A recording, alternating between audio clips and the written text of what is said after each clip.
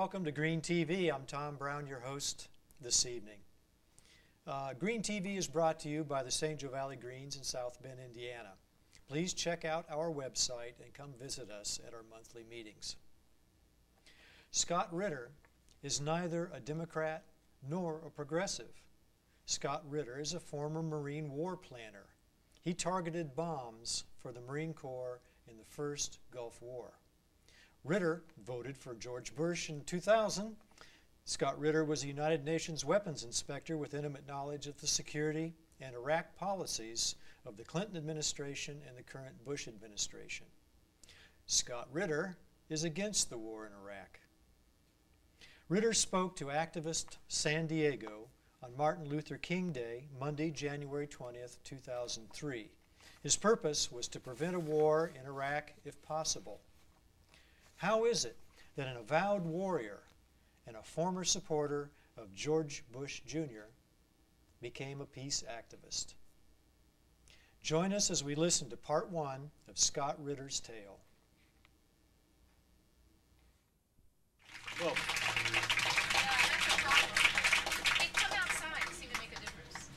okay, we'll see if we can make this work. First of all, thank you very much for, for coming tonight. Certainly is a um, an honor and a privilege to to be here and to talk to you about uh, an issue that uh, you know, regardless of where you stand on the on the matter, um, no one can debate that it's it's not one of the more defining moments of our time. The issue of war and peace, and whether or not our nation is going to, in fact, engage in a war that may cost uh, us thousands of lives of our own uh, soldiers, sailors, airmen, and marine, and may cost the lives of uh, many tens of thousands of Iraqis.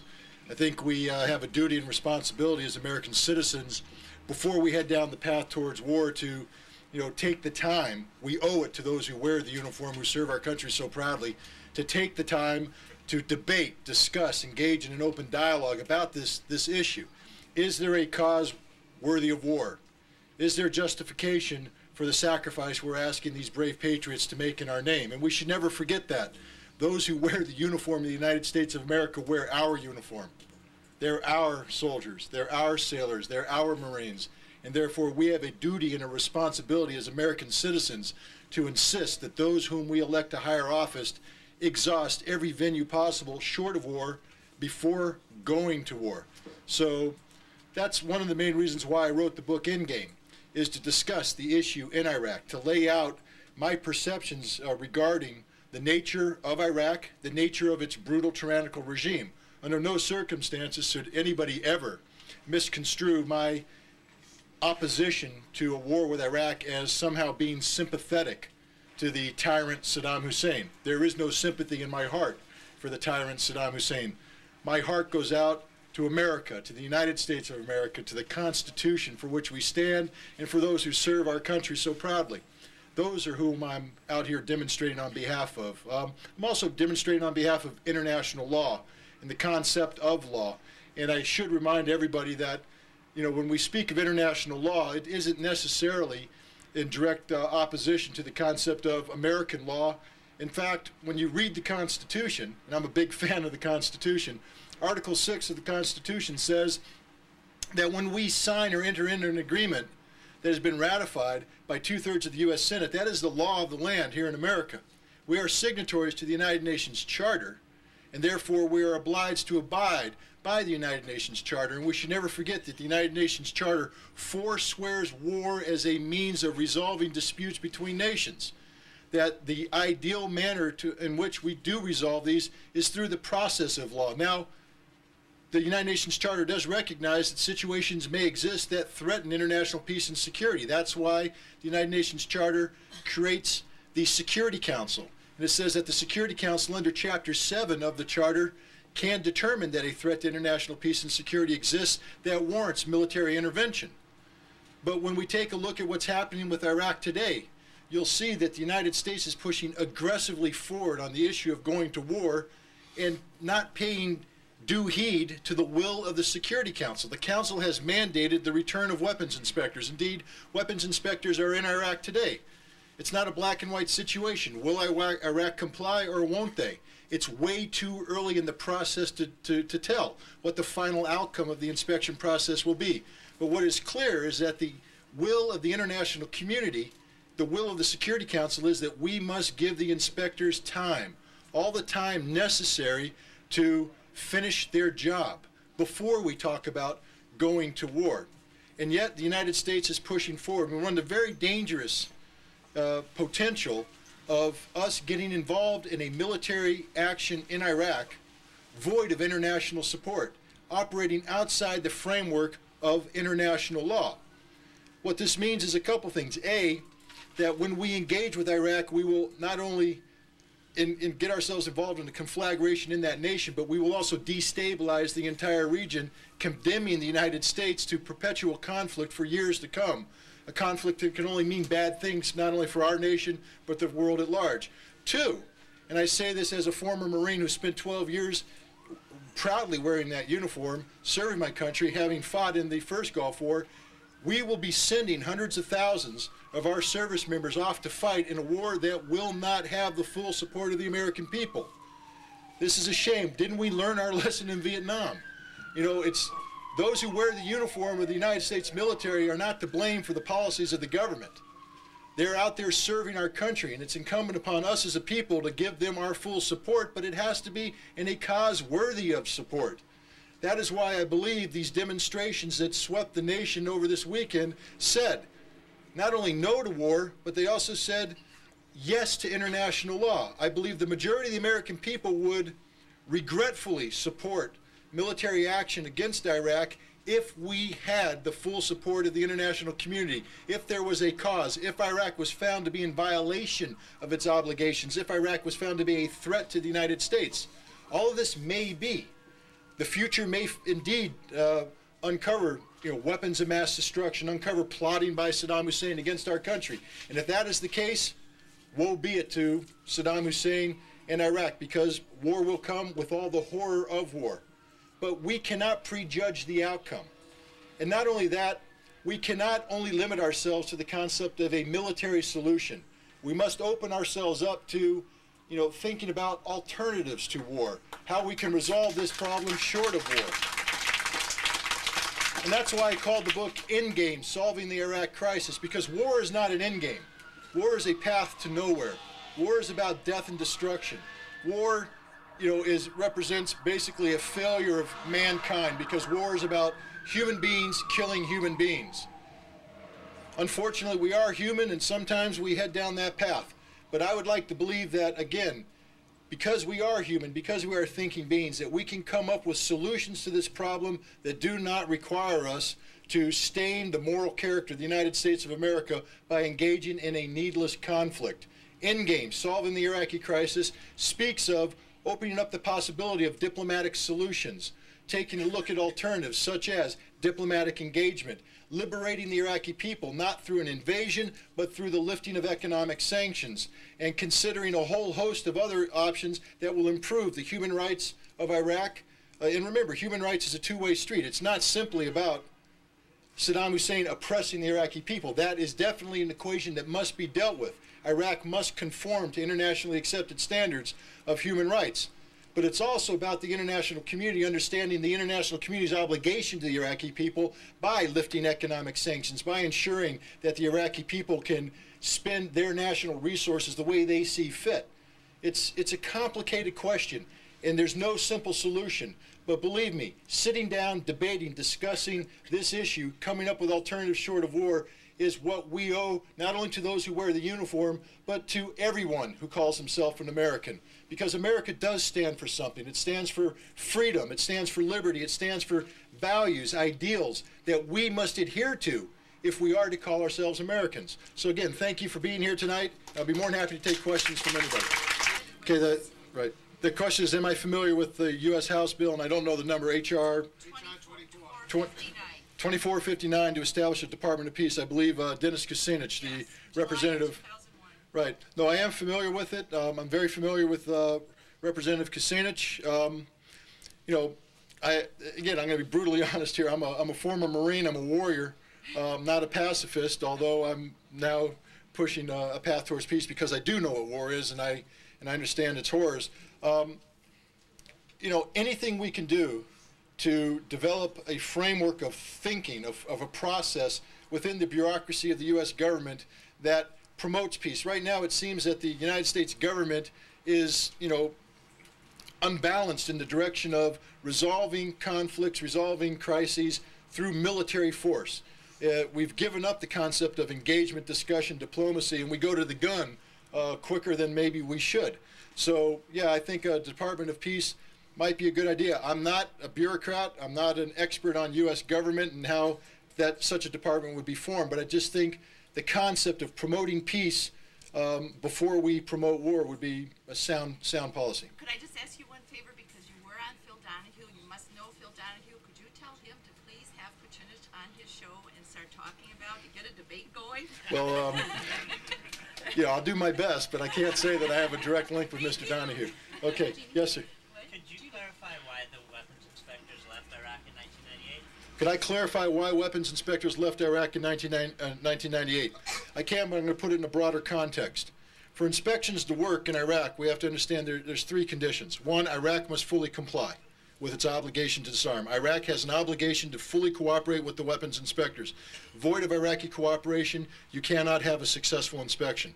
Two, the Security Council, in passing laws that require inspectors to go to work and disarm Iraq, must be willing to enforce that law. So if you run into a situation where Iraq is not in compliance, you must be willing to step up to the plate and enforce your law. What good's a law unless it's enforced? And three, if you're going to hold Iraq accountable to the rule of law, say you must disarm, we have to ensure that those who implement the rule of law, the weapons inspectors themselves, are held accountable to the rule of law. That is, when you go into Iraq to disarm Iraq, that is what your mandate is, to get rid of Iraq's weapons of mass destruction.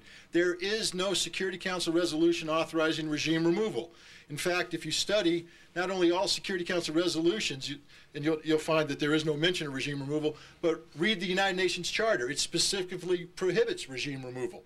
And again, I come back to Article 6 of the Constitution. We're signatories of the United Nations Charter. So when you hear the President say our policy in Iraq is regime removal, what the President is saying is our policy in Iraq is in violation of international law and in violation of the Constitution of the United States of America. Now, having said that, we come to 1998. We're in a situation where Iraq is not fully cooperating. No one should ever forget that, that there was not full cooperation by the Iraqi government from 1991 to 1998. Two, the Security Council was unwilling to back up the inspectors, wasn't willing to step up to the plate. But three, the United States had a policy of regime removal that had been in place since 1991 that corrupted the integrity of the inspection operation. The United States used the weapons inspectors and the unique access inspections afforded the inspectors to the most sensitive sites inside Iraq to spy on Saddam's security, to gather information about Saddam Hussein's security, and to use that information actively to foment his overthrow. From 1993 to 1998, there were five CIA-sponsored assassination slash coup attempts against Saddam Hussein that used intelligence information derived from the inspection process. So we had a very complicated situation. In December 1998, the United States manipulated the inspection process one last time. They put weapons inspectors in, in Iraq, again, Richard Butler, the Australian diplomat who headed the weapons inspection process, ordered the inspectors in, but he did it in a hand in glove relationship with Sandy Berger, the National Security Advisor. They coordinated timelines of inspection with timelines of military action. They sent the weapons inspectors in to be deliberately provocative. Um, to give in, to define this, understand that from 1995, uh, 1996, 1998, we had an agreement with the Iraqis about inspecting sensitive sites. They called the modalities for sensitive site inspections. It, it meant that if we went to a site that Iraq felt was dealt with its national security, we would limit the number of inspectors going in to four. And then if the inspectors found anything relevant to their work, all the inspectors could come in. If the inspectors didn't find anything, if it was simply an intelligence facility, a security facility, then the inspection was done. This agreement was in place and it worked. The United States instructed Richard Butler to scrap the modalities of sensitive site inspections without going to the Security Council. So the inspectors showed up in Iraq, went to a facility in downtown Baghdad. The Iraqis said, come on in with the modalities. This is a sensitive site because it was the Ba'ath Party headquarters. It had nothing to do with weapons of mass destruction, everything to do with Iraq's political sensitivities. Iraq said, though, you can inspect it. They even said you can bring in, uh, I think, up to 16 inspectors. But the weapons inspectors, no, said no. We're going to scrap the modalities. We'll go in, but the modalities don't apply. We'll just come in. The Iraqis said, I'm sorry, the agreement is the modalities apply. The inspectors refused to back down on Richard Butler's orders, and when the Iraqis said, without the modalities, you can't come in, the inspectors were withdrawn, and what the world was told is that Iraq refused to cooperate with the weapons inspectors. The United States then, the United States then ordered the inspectors out of Iraq, and 24 hours later began bombing Iraq, Operation Desert Fox, a 72-hour bombing campaign, 97 targets, 86 of which dealt with Saddam Hussein's security. All 86 were derived from weapons inspectors' intelligence reports. Okay, the, the, the, question related to this massive deployment of military forces that we see both here on the West Coast and also on the East Coast, and believe me, the soldiers, sailors, airmen, Marines are coming from the hinterlands too. All across America, American troops are deploying to the region. Um, do, do I believe that the United States uh, is, is, is listening to the inspectors, is willing to give the inspections a chance, or are we just moving towards war? Well, it's hard. You know, I'm not a member of the Bush administration, obviously, so I can't tell you what what what the inside thinking is. There's a lot of people out there that that say, "Oh, Bush is just bluffing." You know, many congressmen and senators say, you know, if we don't show the Iraqis that we're serious, they'll never cooperate. So this is probably the most expensive game of chicken ever played. But the problem with this game of chicken is it's not a game. We're talking about war. And I have to tell you, knowing what I know about military deployments, having participated in a massive deployment of troops to the Persian Gulf in, in 1990, 1991, at some point in time, this military deployment will take on a life of its own. You will deploy so much military equipment, so much personnel, you will commit so much political, diplomatic, and economic resources to this deployment that you simply cannot pull back. You will achieve a critical mass, which means war is all but inevitable. And the danger of this is is that the, the buildup of American military power is not coinciding with the buildup of international support for this war. In fact, you have two exact opposite graph lines. As American military build, power builds up, international support and indeed domestic support for this war is declining. The community, international community said they will not support a war with Iraq without a second Security Council resolution. And the Security Council has said clearly that they will not pass a resolution authorizing war until they have a smoking gun, until the weapons inspectors have come out and said Iraq is not cooperating or Iraq has weapons. So the, the international community said, give the inspectors a chance. I have to tell you, as a professional weapons inspector for seven years, give the inspectors a chance means the following. Six months to a year. The inspectors were out of Iraq for nearly four years. When I resigned in 1998, I testified to the U.S. Senate that once you remove weapons inspectors from the equation in Iraq, Iraq could reconstitute significant aspects of its programs within six months. They had four years to reconstitute it and hide, potentially. I'm not saying they did it. I'm saying the potential's there. And given the stakes at hand here, we have to give the inspectors every opportunity to thoroughly investigate this issue, to do their job. Donald Rumsfeld and others in the administration have denigrated the inspectors, saying they cannot work. But I think, if anything, the events of last week prove the inspectors can work. They found 11 warheads. They found 3,000 pages. They're putting pressure on the Iraqis, and they're doing a good job. We just need to give them more time to do. But the danger is the Bush administration isn't going to be able to give them that time because we are accelerating this military buildup so that conflict with Iraq seems all but inevitable by the end of February. Yes, sir, in the back. Administration and Sandy Berger did what they did in 98. Let's first of all remember that they inherited this situation. I'm not a big fan of Bill Clinton, but with all due respect to him, he inherited the situation. He didn't create this situation. He inherited it from the first President Bush, who left an unresolved situation that, that talked about dealing with Iraq by containing Iraq, not solving the problem. So he inherited a problem of containment. You know, when Bill Clinton first came into office, he made a statement. He said, I'm a good Southern Baptist and I believe in deathbed conversions. And maybe we can just get Saddam Hussein to change his ways. And as soon as he said that, all American politicians, Democrat and Republican, slapped him down because Saddam Hussein had been demonized to such an extent in the political psyche of the American people that you know, engagement with Saddam Hussein was inconceivable politically. Any politician who said, hey, let's maybe reopen diplomatic relations with Iraq and solve this thing diplomatically feared for their political future. So Clinton continued this policy of, of containment. But containment isn't a policy. Containment is the absence of policy. Containment means we don't know what we're doing to solve this situation, so we're just going to put a big circle around it and hold it in place. Containment meant that the Iraqi people are condemned to perpetual suffering because of economic sanctions. Containment meant that the entire region is condemned to perpetual instability because of this American military buildup, this constant toing and froing with, uh, with Iraq. Containment meant because we have a policy of regime removal that until we get rid of Saddam Hussein, there's not a solution. It meant that we closed the door on any possibility of Saddam Hussein cooperating with the inspectors. Because if you say, you know, the international law says that once Iraq cooperates, once Iraq is found to be in compliance, economic sanctions will be lifted. But when the United States has a policy that says no matter what Iraq does, even if they comply, we will not lift sanctions until, until Saddam Hussein is removed from power, you know, you've suddenly screwed up the entire uh, political, geopolitical, uh, diplomatic equation. Bill Clinton had a problem because every time we had a crisis with Iraq, he wasn't willing to go all the way. I talked about enforcement of law. Let's be serious. When we're talking about enforcing a law that deals with Iraq, we have to make sure that it, the enforcement affects that which makes the decision in Iraq. And Iraq is a dictatorship. Saddam Hussein is the decision maker. So if you're going to enforce something with Iraq, you have to put pressure on Saddam. You have to threaten his very existence before he'll wake up and, and understand that they're serious. Bill Clinton was never willing to take it to that level. So Iraq found out that they could get away with obstructing the inspectors. Then the Americans would build up and Iraq would give away just enough to have the buildup go down. So you had this constant cycle of build up, escalation, de escalation, and it was very expensive monetarily and is very damaging politically because Bill Clinton was always raising expectations. So finally, the Clinton administration did the age old political thing of say one thing, do another.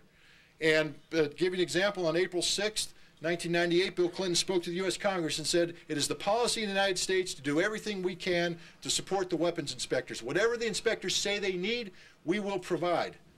And then they turned around and passed a secret U.S. policy that said, Stop the inspectors from being confrontational. So when I would go into Iraq at the head of a weapons inspection team, fully mandated to do our task, with search warrants signed by the United Nations to do the job, we would show up in Iraq and the United States would pull the rug out from under our feet and we couldn't do our job. Bill Clinton uh, did what he did because he didn't have the, uh, the courage either to decisively confront Iraq on this issue or to recognize that this policy that we were had in, in, in, regards to Iraq was a failure, that we needed new and innovative ways of dealing with Iraq, such as perhaps a, a more vibrant dip, uh, diplomatic engagement.